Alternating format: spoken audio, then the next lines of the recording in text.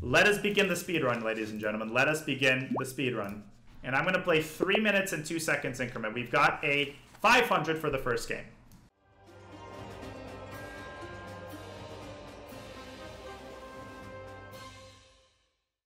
So we're going to play e5. This is 3 plus 2, 3 minutes and 2 seconds. Knight f3, knight c6. Everybody's familiar with this line. And he plays the Scotch game.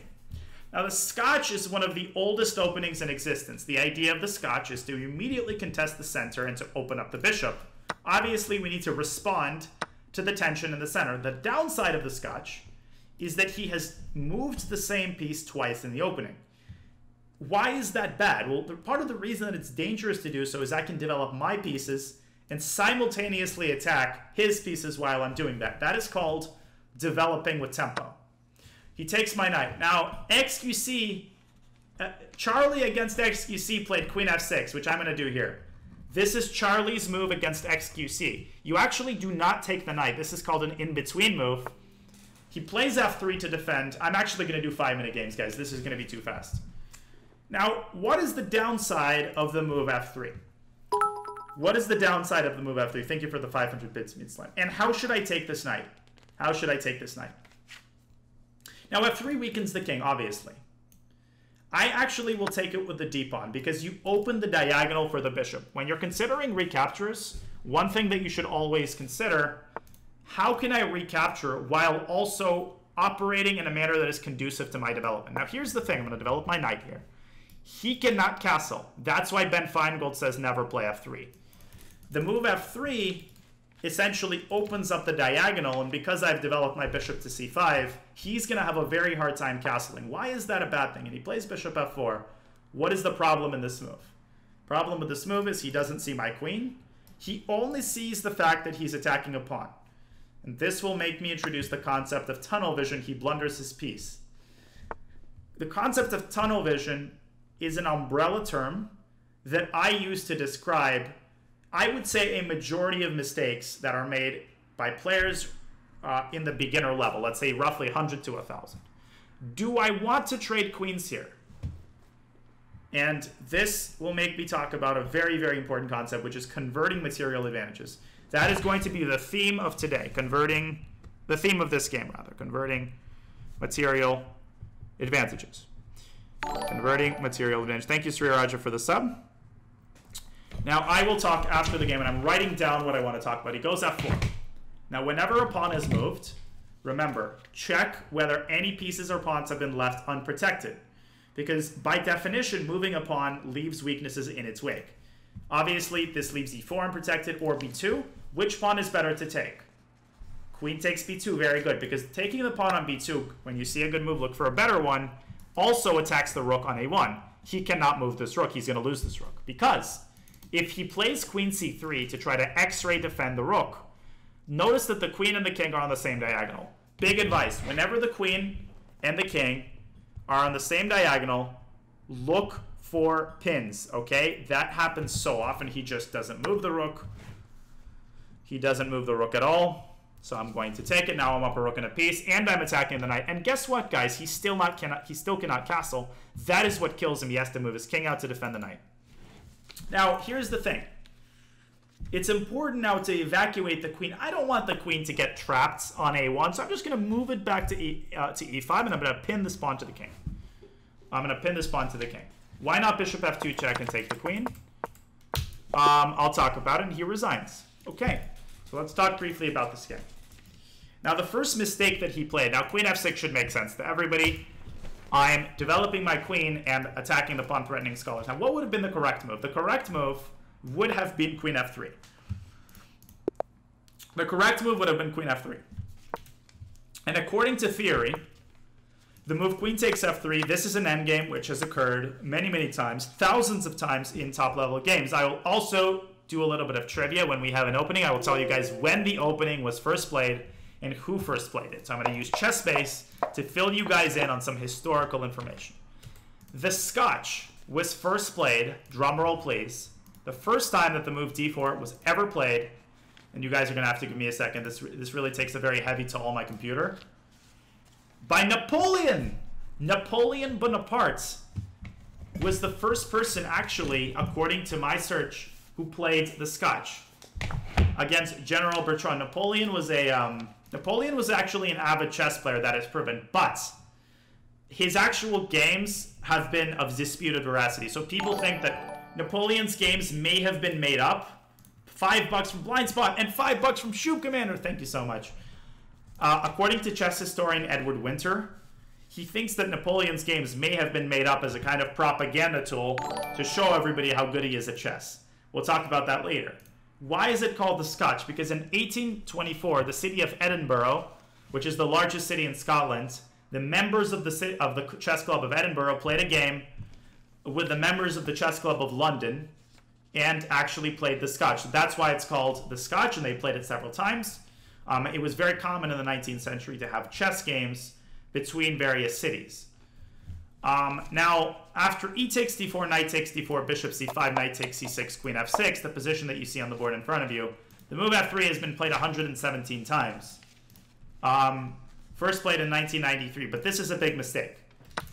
The reason this is a big mistake, as I explained, is that it opens up the diagonal. And in general, I know this is a very general piece of advice, but be very careful about pushing pawns in front of your king. Not only f3, but moves like g3 or h3 all create weaknesses around your king, that needs to be treated with the highest degree of caution. Okay? Um, and here I play d takes c6, which, why am I doubling my pawns? A lot of you might look at this and say, Daniel, what, what the hell are you doing? You're, you're ruining your pawn structure. But, thank you to Reed Grease for the sub. Thank you guys so much for the support. It's important to recognize that in the opening, development is more important than the pawn structure. Okay, you guys can write this down or remember it. Development is more important than small deficiencies in the pawn structure like doubled pawns. In general, I think the pawn structures are largely overrated. Bart, Bacon, Incarnate, and another sub. What incredible support, guys.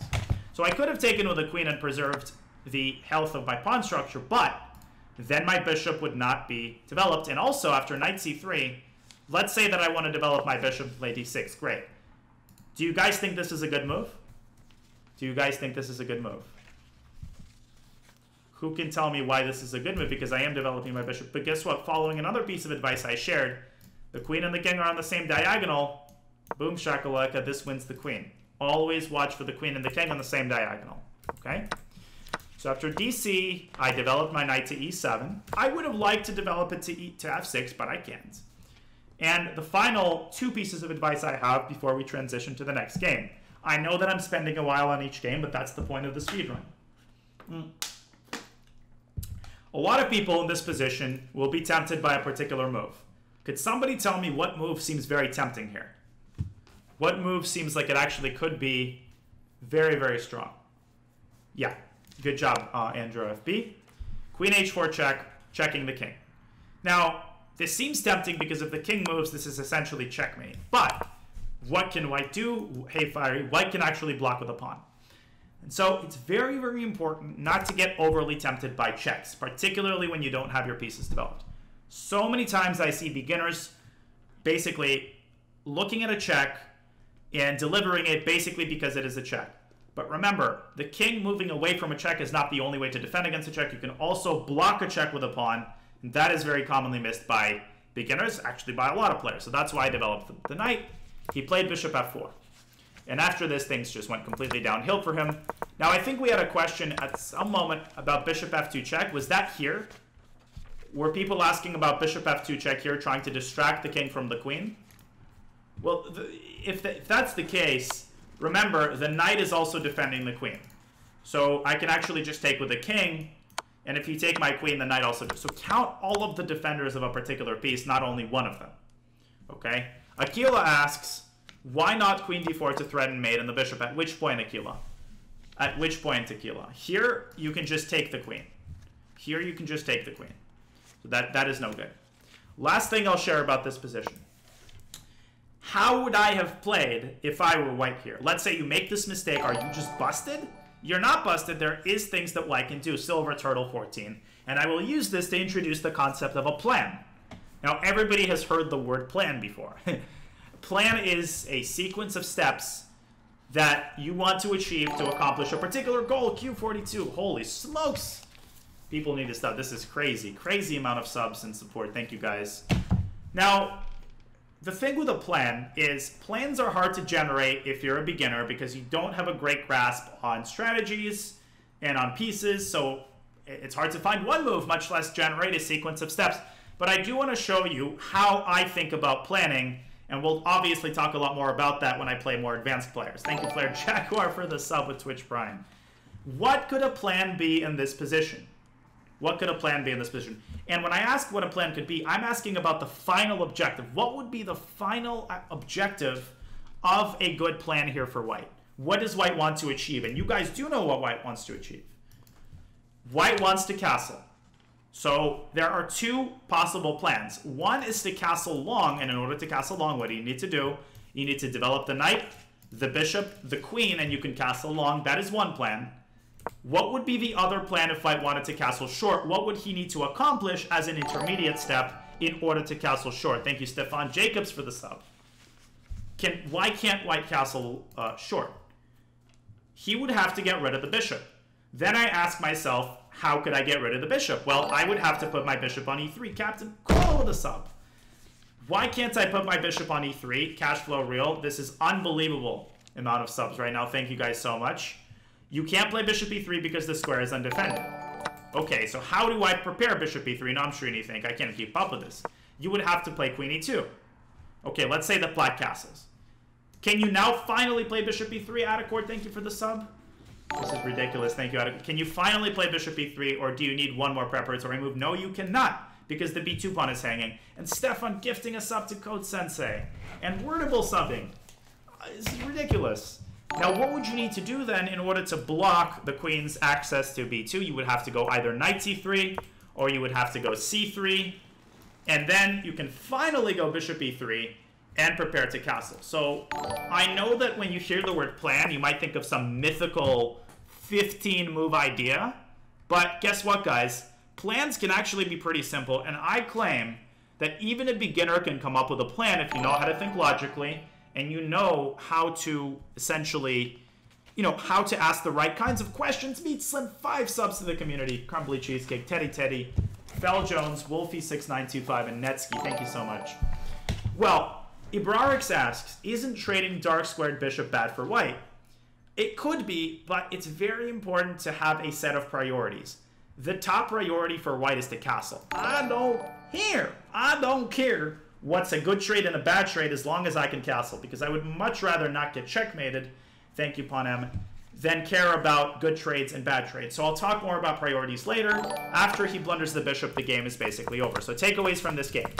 Number one, first and foremost, very be very careful about pawn moves in front of your king, particularly the move f3 as Ben Finegold reminds us. Number two, development is more important than pawn structure, especially in the opening. Number three, in terms of planning, you ask yourself questions about what you want to accomplish, and then you try to understand the obstacles that stand in your way of accomplishing it. Obstacle number one is the bishop. Obstacle number two is the fact that the e3 square is not defended. Obstacle number three is the fact that the b2 pawn is now not under control if we play bishop b3. Solving all of the obstacles leads us to a plan. A plan leads us to accomplishing an objective. Any questions before we move on? Okay, I'm writing all of this down so I can later maybe form a document where I contain all of these advices. Now let's continue with the next game. I want to keep I do want to keep things moving smoothly, so